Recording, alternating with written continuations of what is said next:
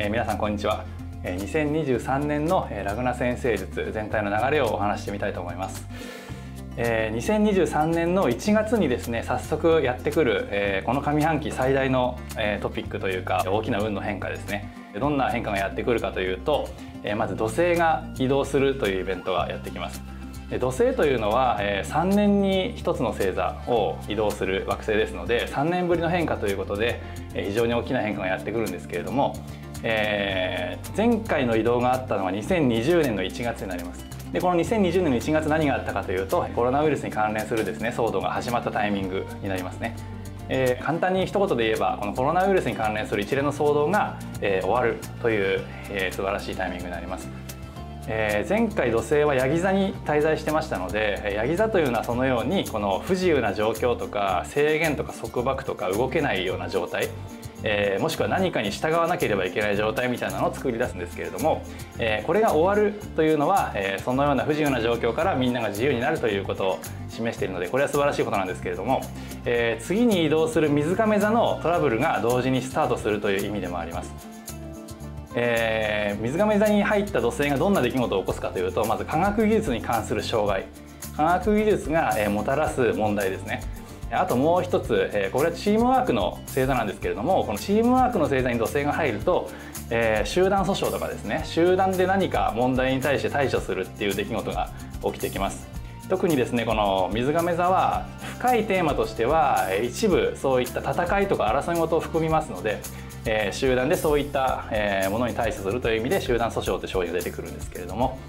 さらに水亀座は、えー、土星が司る星座ですのでまたやっぱりどうしても制限っていう商品が出てくるんですね。えー、どんな制限かというとコミュニケーション交流の制限あと情報の制限こういうところが出てくるかなと思いますでそれに対して、えー、戦っていくとかですね情報の開示を求めて、えー、アクションを起こしていくみたいなものが3年間かけてですね起こってくるかなと思います今現在から見る科学に関する問題っていうのはおそらく薬害が含まれるかなと思うんですけれども、えー、ワクチンとの相性が悪かった方が、えー、集団訴訟を起こすみたいな出来事もすでに起きてますので、えー、この動画撮影してるのが10月の26日になるんですけれども、えー、これが公開される年末頃にはおそらくさらに活発に動きが出てるかなと思うんですが、えー、悪いことばかりでもなくてですね、えー、こういったものを通して、えー、土星の働きである、えー、真実を求めるとかですねえー、不正なものが排除されていくとかですね水亀座はそういう働きを持つ星座でもありますので、えー、世の中がそのように、えー、問題と向き合うことで正しい方向を向いていくみたいなことがこの3年間強く起こってくることかなと思います。デジタル技術の急速な進歩ですとか科学技術の発展なんかも、え強く起きてきますのでこの3年間でまた世の中は非常に大きく変わっていくかなと思います。今のが1月に起きる、えー、非常に大きなターニングポイントなんですけれども、えー、次に4月から起きる、えー、もう一つの非常に大きいターニングポイントについて、えー、お話してみたいんですが、えー、4月には木星が、えー、移動するという、えー、大きな出来事がやってきます。この木星というのは、えー、去年の4月ですね2022年の4月から、えー、魚座にずっと在住してました魚座からお羊座への移動になるんですけれども魚座はものすごい穏やかな星座でですね博愛精神が強くて奉仕精神が強くて、えー、秩序みたいなものですね。みんなちゃんと、えー、ルールを守って正しく行動できるハウスになりますので2022年はこの秩序の方向性すごく強かったんですけれども2023年にお羊座に今度は木星が移動してくるとですねお羊座というのは魚座の正反対の星座になりますので非常にアクティブでですね現状を変えていくってパワーの強い星座になります。この星座に木星が入るとですね、えーこの秩序を変えていこうとかですね新しい方向に動かしていこうっていう動きが非常に活発になりますので、えー、去年とは違ってですね今年はそういった非常に新しい世界を切り開くみたいな、えー、強いサインが、えー、たくさん入っております。えそしてですね、え去年の3月からこのお羊座に、えラーフという惑星が、え滞在してましてこのラーフは欲望を司る惑星ですので、え秩序の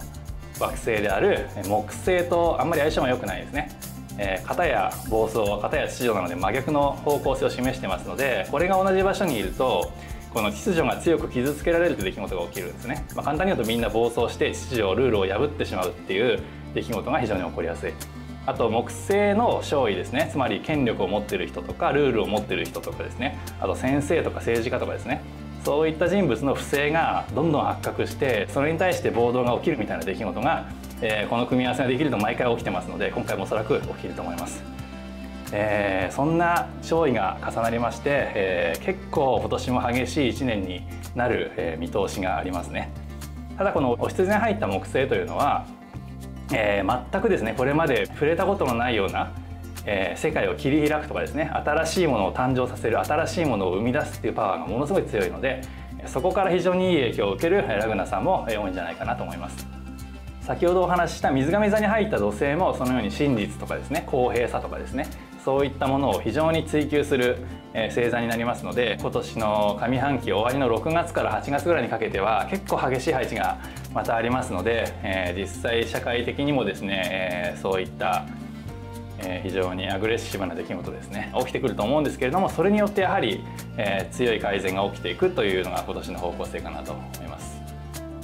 え、古いものが去ってですね新しいものが誕生するそんなテーマが、え、今年は非常に強いですね。そんなですね新しい始まりを迎えるこの世界においてですね、えー、ラグナさんがどんな影響を受けるのか、え、早速読み解いていきたいと思います。えー、では2023年上半期の、えー、サソリ座ラグナさんの運についてお話したいと思います。えー、2023年は、えー、大きな運の変わり目となるタイミングなんですけれども、えー、2020年からサソリ座ラグナさんにとって、えー、長く続いたテーマというのは忍耐ですとかトレーニングと関わるえ運気がある時期でしたのでまずこの時期が終わるというのが非常にえ大きいトピックになります。まあ、この時期というのは非常に地道な時期で、まあ、地道に同じあのコツコツとしたことを続けるってことがテーマになっていましたのでちょっと運命的にも大きな動きが生じにくいタイミングになっておりましたね。今年1月から、えー、その流れが終わって新しいテーマが始まります。新しいテーマは、えー、内側の問題に取り組むということがテーマになります。この内側の問題というのは、えー、自分のルーツとかベースに関わるものなので家族とかですねメンタルとかですね組織に関連する問題この辺りが1月を境に起こってくる可能性があります。それと同時にですね2月から4月にかけて、非常に強い幸運を示す配置があるんですけれどもサソリドラグナさんにとってはこの運気というのは仕事上の予想しない幸運とか昇進、いい意味の仕事の中断、というのを示していたのでヘッドハントなんかも含んでですねその運気が2月から4月にかけてピークになるということですね。ですので2月から4月にかけて予想しない、えー、幸運な影響というのを仕事において受け取る方非常に多いんじゃないかなと思います。この時期は部下とか子供運がいい時期でもありますので子供の成功とか部下の成功も含まれる時期になりますね。育児休暇とかそういったポジティブな中断も起こりうる時期になります。えー、4月以降になるとまたガラッと大きく、えー、テーマが変わってくるんですけれどもこの4月以降のテーマ、えー、何をすると幸運になるか何をするとラッキーが起こるかというところに関しては自分の意思とかですね人に与えること、えー、っていう部分を強く刺激しますので、え、今年1年というのはですねそのように自分の意思というのが非常に強まる時期になります。新しい目標とかこれまでなかった目標というのが自分の中に強力にこのわーっと出てきてですね、まあ、そのモチベーションに従って行動するというのがテーマの時期になります。この時期は、えー、そのように自分のパワーが高まるので、えー、願いを叶えるってことに関してすごく強くなるんですよね。ですので、えー、願いを叶えやすくなるし自分の意思を貫きやすくなりますね。1年かけてこの影響はやってきますので1年かけて大きな願いを達成する目標を達成するっていう流れになるんじゃないかなと思います、えー、仕事運と金を話してみたいと思います。2023年上半期のサソリザラグナさんの仕事運と金運ですね、えー、仕事運的には非常に大きな変化のタイミングに、えー、差し掛かってまいります。ま、1月からやってくるのはこの内側の問題っていうテーマですのでここには組織内部の問題とか仕事そのものにもやっぱり関わってくるんですね。えー、特に組織内部の問題として起こりやすいのは、えー、デジタル関係とかあと空調とか通信とか連絡とかコミュニケーションとか同僚関係とかですねそういったところに問題がやってくる可能性があるんですけれども、えー、即時解決がちょっとこれは難しい問題で、え、例えば拠点組織に関する問題なんかは一時的にその事務所なり組織なりが使えなくなって何箇所かの、えー、仮説的なそういう事務所とかですね拠点を行ったり来たりするような状況とかですね、えー、そういったちょっとこれは面倒だなって状況が、えー、続くかもしれないですね。えー、そういったところが仕事運、まあ、今後その仕事を続けていくのかみたいなところで仕事そのものにも影響を与えてくるっていうのと、えー、4月以降は特に自分の意志が高まるってところと絡んできますのでもっと自分の思い通りになる仕事がしたいとかもっとやりがいのある仕事をしたいとか仕事を人に邪魔されたくないとかですね、えー、そういった気持ちどんどん高まってまいりますので、えー、それが独立ですとかそういったところに結びつくサソリダラガナさんもあるかもしれないですね。